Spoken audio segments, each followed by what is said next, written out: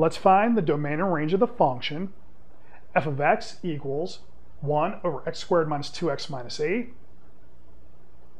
We note, since f of x is a rational function, the domain will be all x except where the denominator is equal to 0. That means our work is going to be in finding the range. Now, our first approach is to consider the graph of f of x. So recall, I want the domain and range of a function if we have the graph. We have two tests. For the domain, we use a vertical line test. So if I take any x on the x-axis, take the vertical line through x, if that intercepts our graph at any point, then x is in our domain. Likewise, to find the range, we apply the horizontal line test. So if we take any y on the y-axis, take the horizontal line through y, that intercepts our graph at any point, then we have y in the range. Now, for a warm-up, let's apply our two tests to f of x equal to x squared minus 2x minus 8. Now, this function has its graph upward facing parabola. Okay, the coefficient of x squared is positive. If we factor, we find that the x-intercepts are going to be at minus 2 and 4. So for a rough graph, our picture looks like this. Now, we apply the vertical line test, we see that for any x on the x-axis, the vertical line cuts the graph at some point, so our domain is going to be all x. To find the range, we need to do a little bit more work. So, here's what we do in the case for parabola we need to complete the square. So the idea is going to be, if I complete the square, I could find this vertex. Then once I have that, I know the smallest value of y, where the horizontal line through y cuts our graph. Now, to review completing the square, okay, our formula is x squared plus 2ax equals x plus a squared minus a squared. Two things to note. First, to use it, so let's say I want to apply it to our function. I would have x squared plus 2ax. So we look for the x squared and the x term here. We take the coefficient of the x, which is minus 2, set that equal to 2a. So if I have 2a equal to minus 2, then a is equal to minus 1. And then our x squared minus 2x can be rewritten as okay, x minus 1 squared. Then we're take the minus 1 squared, which gives me a 1, put a minus sign in front of it. Okay, you know, whatever number that comes out of here, we're always going to wind up with a minus sign there. Okay, this number, a squared, is always zero or a positive number. Okay, second point, memorizing completing the square. Well, there's not a lot to this. Just remember, all you need to do is square x plus a. So that'll give you x squared plus 2ax plus a squared. And then we just push the a squared to the other side so it picks up a minus sign. Now, we apply completing square to f of x, and that's going to give us x minus 1 squared minus 9. Then our vertex is going to be the point which makes the square term equal to 0. So we're going to have our vertex at 1 comma minus 9. That means if we put in our horizontal lines, we're going to have intercepts for the graph all the way down until I hit minus 9. So our range is going to be y greater than or equal to minus 9. Now, if we invert our function, so we'll have 1 over x squared minus 2x minus 8. We get the graph by using technology or by noting key features on the parabola. So we have x-intercepts at minus 2 and 4. We have our vertex at 1 comma minus 9. When we invert, the x-intercepts, okay, we're zeros. We're gonna go to vertical asymptotes. So we'll draw those in.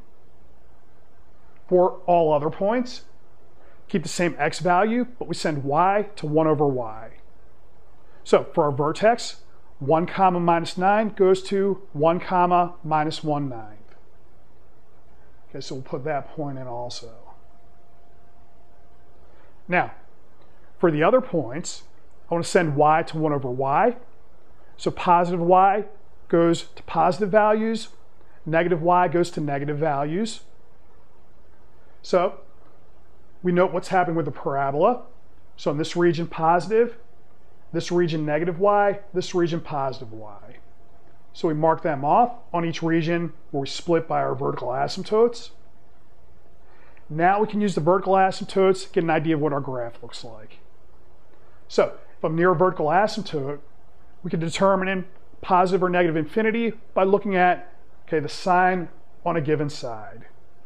So here, we have to go to positive infinity as we come into 4 from the right. Then we have minus infinity, minus infinity, positive infinity. So here we can just connect the dots and we have an idea of what our function looks like in this region. For the outside regions, we just need to know what's happening as we let x go to plus or minus infinity.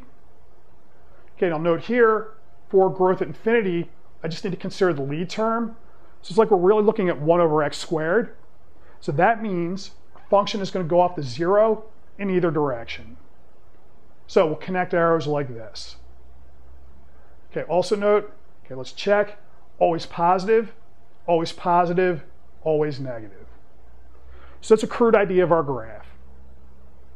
Now, we apply our two tests.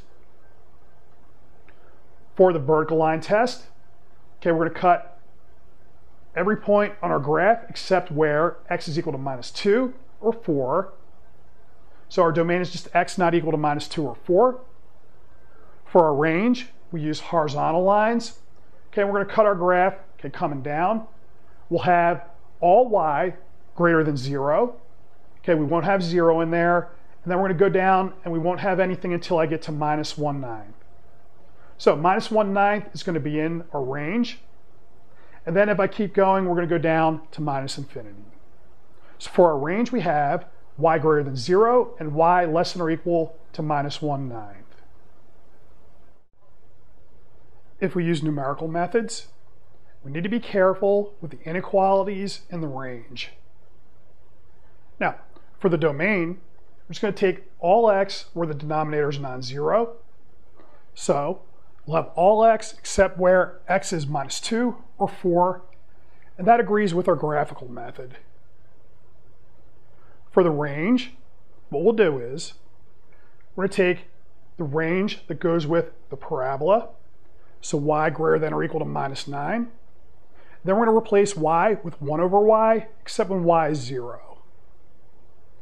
Now, if I take y greater than or equal to minus 9, replace y with 1 over y, okay, if you work out what this region is, you'll see that it's not equal to the answer that we got using graphical methods.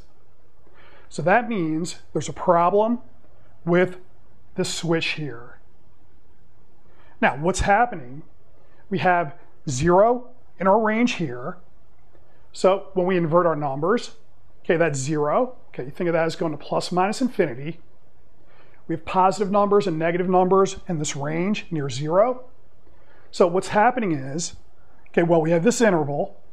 We're going to cut it at this point, and then we're to turn it inside out. So we expect to get two pieces when we send y to 1 over y. Now, to fix this, going to split it up into three pieces. So I have a positive, a negative, and a zero piece.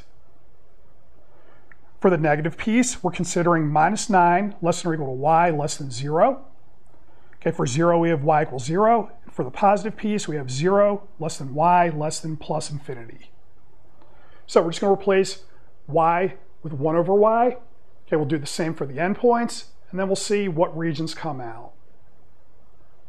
Now, for the positive piece, Okay, we have to think heuristically here. If I have 1 over 0, that goes to infinity. Okay, and here we're only considering positive numbers, so it goes to plus infinity. The infinity is going to go to 0. So here we'll have 1 over y between 0 and infinity, which means we have all positive numbers. For the 0, 1 over 0 is undefined, so we just leave it alone.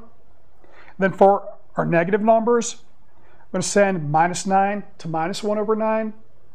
0, again, is going to go to infinity. Since here we're dealing with negative numbers, it's going to go to minus infinity. So our 1 over y is going to go to numbers between minus infinity and minus 1 over 9, including the minus 1 over 9. So in this picture, all we're doing, taking our points, if we think of them as going in this direction, then when we flip over, they're going to go in this direction. So you'll note, if we take these two pieces, they agree with our answer using the graph.